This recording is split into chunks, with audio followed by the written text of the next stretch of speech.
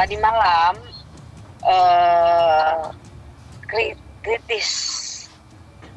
Karena oksigennya tuh sampai 70 normalnya kan 95 ya? Seperti itu.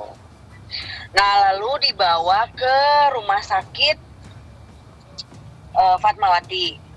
Sampai di rumah sakit Fatmawati dia tidak dapat uh, ruangan oksigen juga nggak ada. Akhirnya dipindahin ke rumah sakit JMC Mampang. Di situ dia dapat oksigen um, tetap di UGD tapi harus masuk ICU sebenarnya. Tapi karena memang waiting list masih 70 orangan ya. 70 orangan waiting list jadi belum bisa masuk ICU uh, akhirnya sekarang masih di UGD dia itu positif COVID ya. Uh, terhitung sejak 24 Juni kemarin. Pemicu utamanya adalah asma. Nggak nggak dapet sama sekali oksigen nggak dapet. Terus banyak ya, ya cuman udah udah ter udah teratasi sih alhamdulillah gitu sudah teratasi. Beberapa minggu belakangan itu kan memang dengan saya juga ya sibuk ya sibuk banyak kegiatan lah e, banyak kegiatan di luar. Tapi dia mulai mengeluh tuh di tanggal 17 17 dia udah mulai mengeluh karena badannya sakit-sakit. Terus tiba-tiba batuk-batuk kering ya batuk kering. Terus dia bilang aduh kecapean nih kayaknya gitu kan. Ya akhirnya ngedrop. Ngedrop tuh sebenarnya tadi malam tuh udah udah nggak sadar. Kalau asma kan sudah lama ya. Asma sih sudah lama. Uh, cuman memang seminggu sebelumnya itu kan udah di, dia tuh udah dirawat. Minggu sebelumnya tuh uh, tanggal 19 tuh dia udah dirawat tapi tetap di UGD terus dia pulang. Pulang karena ngerasa kalau di UGD ya nanti uh, ketularan dong gitu loh dia bilang. Cuman belum belum tes PCR-nya belum keluar. Tanggal 24 baru keluar bahwa positif. Gitu asmanya sudah membaik karena disuntik dan tapi kok uh, sesaknya kondisi sesak masih. Positif. baik baik alhamdulillah baik. Jarno negatif cuman adiknya dua-duanya positif gitu. Si Adi sama Karina Karina itu adik kandung kalau Adi itu uh, adik ipar ya itu positif juga. Jadi yang di, jadi yang sekarang rawat Jen itu ya Adi gitu adik iparnya. Hmm, okay. karena Karinanya kan punya anak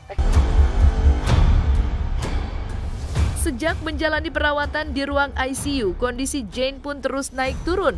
Kondisi pernafasannya yang belum maksimal membuat Jane masih dibantu dengan alat pernafasan ventilator. Walaupun telah melewati masa kritisnya, Jane sendiri kabarnya belum bisa banyak bicara. Dan inilah dukungan sahabat dan keluarga terdekat untuk kesembuhan Jen Shalimar. Progres alhamdulillah karena dibantu dari berbagai pihak. Alhamdulillah sekarang mulai sadar walaupun belum bisa komunikasi ya. Walaupun belum bisa komunikasi udah sadar gitu. Tapi belum uh, belum naik ya. Masih di 80-an oksigennya di 80-an saya saya nggak bisa belum bisa ngomong apa-apa. Kan bengkak ya matanya bengkak terus uh, mukanya juga bengkak. Barusan saya video call Jenny sih masih merem ya karena nggak bisa komunikasi. Belum masih merem cuman bisa bicara sama adiknya aja adik adik iparnya lihat kondisinya kayak gimana sudah sadar tapi tidak bisa bicara apa-apa gitu loh. Dan sebenarnya harusnya tuh dokter bilang memang masuk ICU karena eh, uh, 70 ya 70 naik turun naik gitu. Paling tinggi 80 berharap cepat sembuh minta doanya dari semuanya. Yang penting uh, kuat ya. Kuat lah ya semua zaman pandemi ini kan memang kita perlu waspada dan covid ini nggak hoax gitu loh. Beneran ada gitu kan. Karena orang-orang terdekat juga ngerasain gitu ya. Cepat sembuh aja buat Jan Salimar. Kita semua dukung dan kita semua sayang itu aja